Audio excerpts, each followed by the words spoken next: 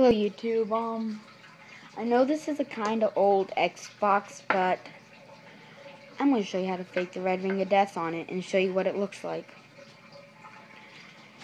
So, um, see, when you go back here, this thing you,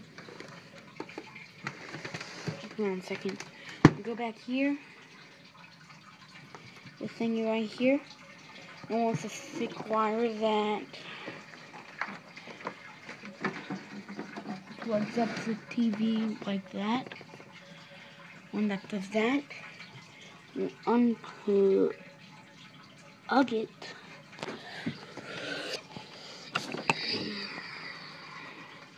Make sure the power cord is still plugged up though. But when you're done with that, you unplug it.